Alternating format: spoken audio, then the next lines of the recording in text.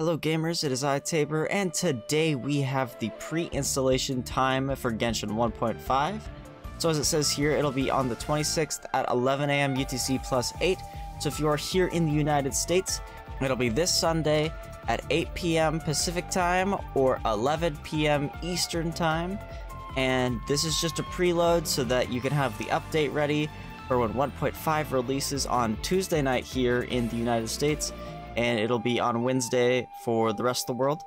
Um, but anyway, guys, that's all I got for you. Make sure to preload so you can play as soon as the update is ready on Tuesday or Wednesday, depending on where you are in the world.